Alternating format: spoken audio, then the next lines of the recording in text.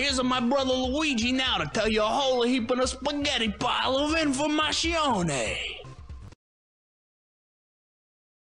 Hello, Mario.